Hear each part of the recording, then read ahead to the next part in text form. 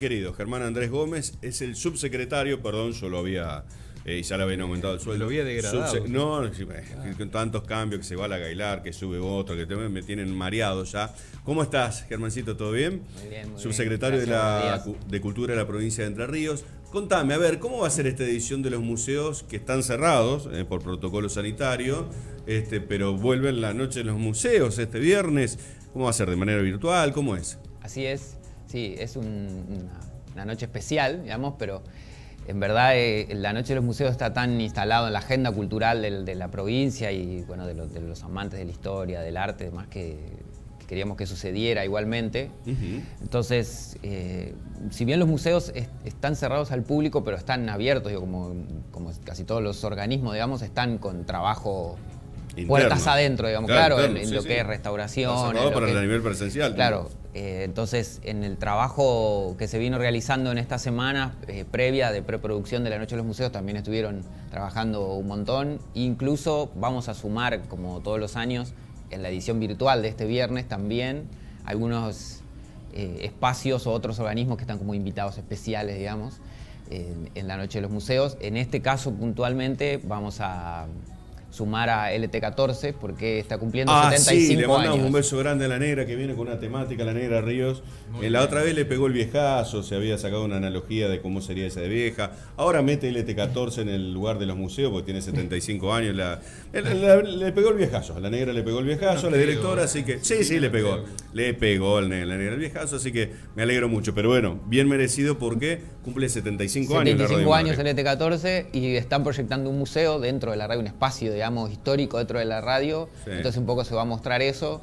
Y la idea, bueno, obvio que era que participaran con puertas abiertas, pero bueno, para el año que viene lo vamos a tener también. Buenísimo. Y bueno, la, la idea de los museos entrerrianos es porque participan y se suman, adhieren casi todos los municipios de la provincia, los que tienen museos públicos, privados, museos particulares, museos municipales, y también están eh, abriendo virtualmente este viernes a partir de las 19, consensuamos día y horario para todos. Dame un Entonces- adelanto, no sea canuto, no sea canuto. Sí. Eh, da- dame un No, adelanto. Así Germán, como arrancaría, Hay Germancito. toda una recorrida ¿no? que está planificada a través Bien, hay, hay, virtual. hay recorridos virtuales de los museos, hay algunas producciones especiales eh, hechas particularmente para esta noche, digamos. Eh, creo que lo más interesante es que van a poder ver o conocer los museos desde otro lugar, ¿no? porque aprovechando la virtualidad y la cuestión audiovisual, vamos a hacer visitas por ahí a lugares que no están habitualmente abiertos al público o poder generar otra instancia dentro del mismo museo, con ¿Qué animación, museo con video, con música, con literatura, mezclando las disciplinas también. en- ¿Qué museos tomamos acá de material? ¿De todas partes de la provincia? ¿Los de Paraná exclusivamente? Los museos provinciales son nueve, Por eso.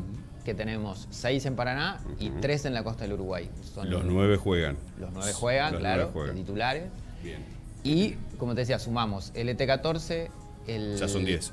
Sí, que está proyecto el museo, Sí. digamos, no es un museo, pero es como invitado por su 75 Sí, sí, sí, sí, aniversario. un invitado especial. Está la capilla norte, la antigua capilla de San Miguel, que se restauró el año pasado, eso por un Qué proyecto... hermoso, sí. Ahí con tenemos fondos 11. ¿Viste que lo sacás con 11, tirabuzón y va claro. sacando? Ya tenemos Sí. 11. Hay un especial dedicado a eso porque, bueno, la restauración llevó muchísimo trabajo, se hizo con fondo de la provincia, es Sí, patrimonio de podríamos todos los abrir un poquito la zona y no tanta verja. ¿eh? Esto para la curia, ¿eh? Me hago cargo yo, no el gobierno. Yo me hago cargo. Podríamos abrirlo un poquito, ¿eh? Como la para idea de esa- de esa afuera. plaza que está ahí. Sí, sí, sí, la pagamos entre todos. Abramos para- un poquito el espacio no tanta reja, ¿sí? Y entonces, Y bueno, va a haber música en vivo. así como digo lo de la verja, etcétera, etcétera, va para el gobierno, arréglenme el Colegio Nacional, che, el boquete ese eh, que quedó hace tiempo, que se cayó el árbol. No vamos a empezar las clases con un boquete ahí de unas verjas históricas este, que me duele mucho porque soy egresado del Colegio Nacional. Listo, cierro paréntesis de crítica, siga Germán, dale. Bueno, Sí. retomamos. En, Sí. en la agenda me decía, bueno, va a ser una emisión, una especie de programa televisivo. Ajá. Estamos eh, reaprendiendo y adaptándonos a, la- a los nuevos formatos y modalidades. Hacer, ser como un programa en vivo con conductores y con, digo, con cosas en vivo y cosas grabadas. Mirá, no sé si el mezclando. cassette este nos da, pero ¿fuiste convocado, Sergio? No, no, no, no. ¿Qué pasa que no, no- no existimos? ¿Somos dinosaurios paleontólogos? Eh, sí, nosotros me parece que- jugamos claro. en el museo anterior. Claro, tienen- tendríamos que, que estar en el nosotros... museo. ¿qué- qué pa- Piezas del Museo de la Comunicación van a pasar a hacer Ah, en cualquier momento. No, quedémonos de este lado. quedémonos de este lado. Así que sí, vamos a tener eh, cera. eh, a Yelena Herbel y Roberto Romani van a ser los, los conductores. ¿Qué Es sabe Romani de esto? ¿Qué sabe? ¿Qué puede saber Romani de algo de esto? Pero bueno, dale participación ¿Viste? al pibe. Creo que recién arranca, pero va bien. Sí, algo sabe, algo Sí, sabe. a lo mejor se la da. Pero bueno, bueno, che, la lindo, es, la verdad. eh, ¿Y esto que dura? ¿Tres horas? ¿Cuatro? Dura ¿Cuánto cinco dura? horas. Wow. Cinco horas y se suman algunos, algunos portales de otros puntos de la provincia también. O sea, Sí. esto lo pueden ver en vivo y en directo, seguro, por el YouTube de Cultura Entre Ríos y por el Facebook de Cultura Entre Ríos. Bien. Y se están sumando algunos medios municipales, portales web y sitios oficiales de otros municipios para la- Los que eh, quieran tomar transmisiones libre abierto claro, lo pueden tomar. Exactamente. Y sí. Y el, bueno, como decía, va a haber también intervenciones en vivo de música, de videoarte, muestras, Ah, bueno, algunas son sorpresas. cinco horas de continuado, una elaboración. Cinco horas de continuado, pero con una superproducción. Me gustó, che. Entonces, viernes, 19 horas, en Facebook y las redes del de, eh, el museo. Cultura Entre Ríos igual es fácil. En Cultura, Cultura Entre, Entre Ríos, tanto en YouTube como en Facebook nos Listo, encuentran. no tenés como errarle. Y ahí entras y vas a tener la transmisión online. Bueno, me encantó. Felicitaciones eh, para mantener vivo entonces un evento tan importante como había sido la Noche de los Museos y que no por esta pandemia se pierda eh, el tradicional evento. Bienvenido sea. El año que viene los quiero con las puertas abiertas porque si no se Todo. En todo. breve, hasta, en breve, hasta en acá me breve la banco. seguimos. 2021 no me banco una, te aclaro, eh, sea contra quien sea. Un abrazo grande, Germancito. Gracias y los esperamos el viernes. Chau, amigo.